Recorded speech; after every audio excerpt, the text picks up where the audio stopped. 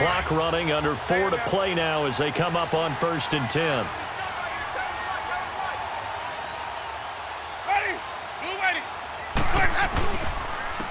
They'll run here with Sims. And he's into the end zone. Touchdown, Buccaneers. Charles Sims. Touchdown number 22 on the season. And the Bucs are able to strike for six. And there the counter play proves successful for the touchdown. What typically makes a counter play in general successful, Charles? But what you're trying to do, Brandon, is to get the team moving in one direction, meaning the defense, get them going in one direction and then wall them off with your blocking and bring it back in the other direction. That way, you don't actually have to punish them with your blocking. You just position them. And if you have any kind of a good back, he'll take full advantage of it and gain good yardage. Extra point up and good by Catanzaro. And it's now a 7-0 game. So that drive, 80 yards, 9 plays. And it was all finished off by the 17-yard touchdown run.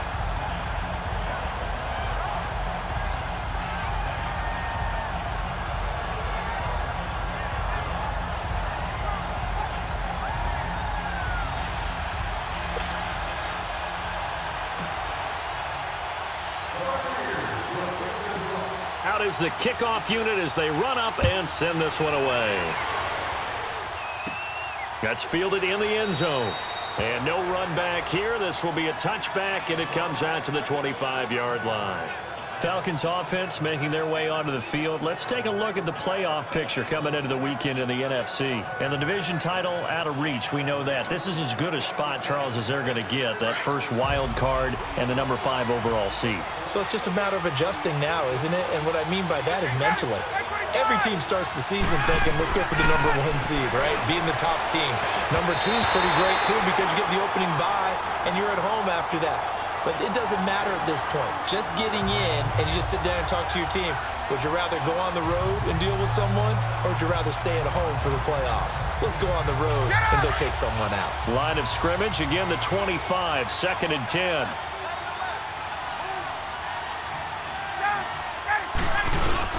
Now Ryan going to give it to Freeman. And nothing doing. He's immediately taken down at the line of scrimmage. It was Jason Pierre-Paul who was able to get him down. And as a defensive end, getting off the ball quickly, swarming to the football, making a tackle, that's what we saw right there. Yeah, that's what their job is. And really, a lot of the time, they have to throttle back a little bit in the run game because you know those defensive ends. And now look at this. Big gain, but a fumble. And the Buccaneers have it. Well, he did what he's known for. He made the catch, then he turned into a runner, took the contact, and coughed it up. And all I remember as a player, when they catch the ball, when those acrobatic guys catch it, you have to make them pay sometimes. You have to put it on them, big tackle, knock the ball free, anything you can do to slow them down. Now the Buccaneer offense gets set to take over. It's a quick turnaround for them after the turnover, but the way they moved it on their last drive, they're probably eager to get right back at it. And you know me and you know my tendencies in this situation. What do I want right now? Be aggressive. Be aggressive. Take your shot right here. Ready. Blue ready. Winston now after the fumble recovery. Bringing it in, Jansen left side. And he gets this inside the 35-yard line. They give him 13 yards there on the play and a fresh set of downs. Brandon, so many times we see the crossing route start as a quick hitter, but in this play, he had time in the pocket and waited for him to clear going across.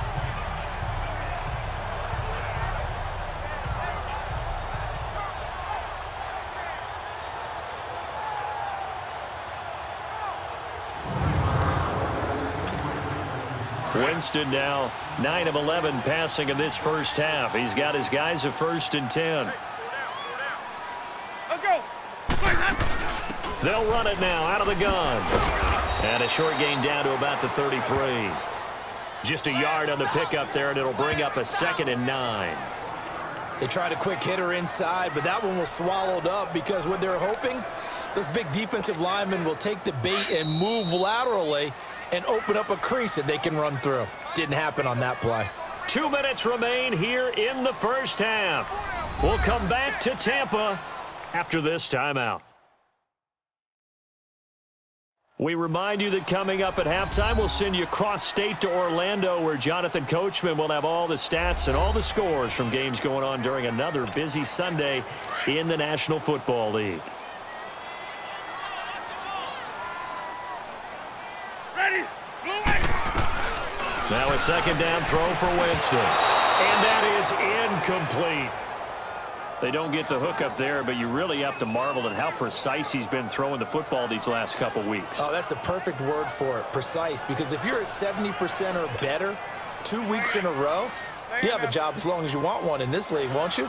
I mean, let's face it, it's not just West Coast offense either. He's putting the ball downfield as well. On third down, Winston. He's got Evans. A familiar ring to that one. Winston to Evans for the Buccaneer first. That's the number two receiver in the NFL in terms of yardage. And tell you what, a few more plays like that, he won't be number two for long. But that's what often happens when you have competitors running around the field. These guys know where they stand in relationship to yardage, totals, numbers, the whole deal. And let's face it, all of them, they all want to be number one.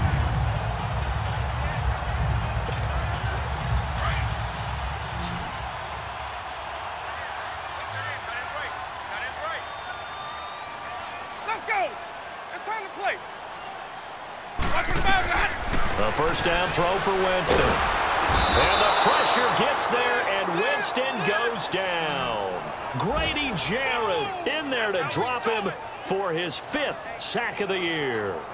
Well, the beauty of screen passes is they take a little time to develop, and they can often hit big, but sometimes they take too long to develop, and sometimes you get sacked. Yeah, what's perfectly called for a defense to attack a screen? Typically a blitz, and even though people think that the screen operates against the blitz, if you have the blitz called and you still cover the screen, now that allows your blitzers to get there. So second and long, and got to be careful not to fall out of field goal range. Ready? From the gun, Winston. And the hit jarred it loose. It's incomplete. The beauty of being able to play a zone defense when you can sit back and see the ball coming out of the quarterback's hands, guess what? Creates a lot of confusion, kind of a muddle in the middle of the field where you go make a play on the football. The Bucs on third down. They've been good, three for four thus far. This will be third and a mile. You got four. You got ready? Blue lighty. Play that. Here's Winston. And incomplete. The contact made the ball roam free and brings up fourth down. Anytime a defense can sit back in a zone like that, it tends to create a lot of congestion in the middle of the field. Makes it very hard to slot one in. Looked like I-4 at rush hour in your hometown of Orlando, Florida. An absolute mess. On is Chandler Catanzaro now for the Buccaneer field goal. They'll put it down right at the 40, so call this a 50-yard attempt. And that one's not going to get there. Not enough juice. An ambitious effort, but it's well short. And this score will stay right where it is. And that's the risk of the long field goal miss here at this stage of the second quarter. You give up great field position. And that gives them one more opportunity to make something happen and something big. And we've seen crazy stuff happen at the end of halves. Atlanta now coming out on the field. Even though they might not find the number one seed next to their name come playoff time, there's not going to be very many teams, if any, entering the playoffs on the kind of run they're on. They're hot. And I love that word, hot, because every team in the league wants to go into the playoffs on that uptick. Because a lot of the time you serve notice to the rest of the league that, hey, we're the team you need to deal with.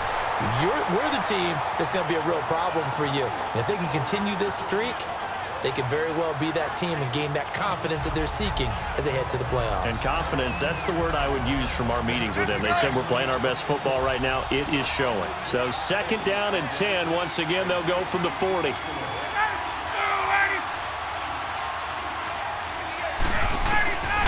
Second and 10. It's Ryan again. And finding the tight end, Hooper. And now maybe they want some extra time to talk about this third and long play as we'll get a timeout. As the clock stops here with 46 seconds remaining in the first half. On third down, Ryan. And that is incomplete. Didn't have a receiver open downfield, as it turned out, couldn't even find his outlet man because of the coverage. It was way too tight, unable to find anyone open.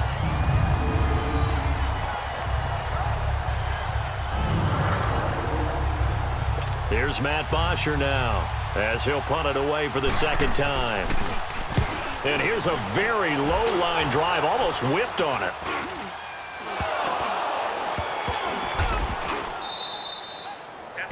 A second quarter score from down in Houston. And the early going, it's the Texans out in front. Deshaun Watson leading the charge offensively. So out come the Bucs now. Last time out, they had that long 50-plus yard field goal that they missed. And I'm sure on their sideline they're thinking to themselves, okay, do we still want to try one if we're in that position again? And I would dare say that the answer would be yes. They're going to have a lot of confidence in their kicker.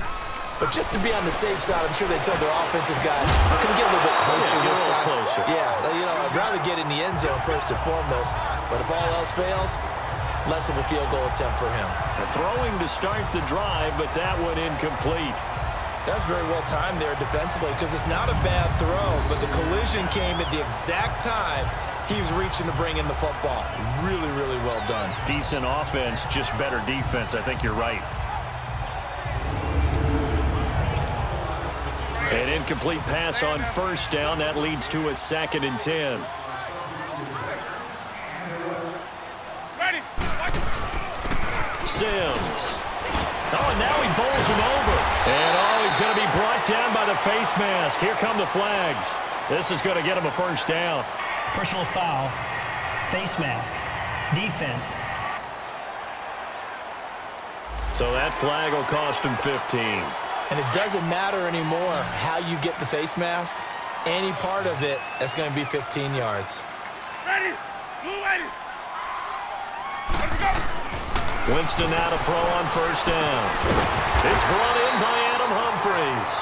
And he'll get it down on the play to the 37. A good pickup there. Eight yards on the first down completion. Facing a second and two after that last catch, good for eight yards. From the shotgun, it's Winston. Oh, nearly picked. And maybe lucky there. This guy doesn't drop many defensively. Third down. So three seconds here remain in the half on as the field goal unit to see about getting three points. This from 54 yards away.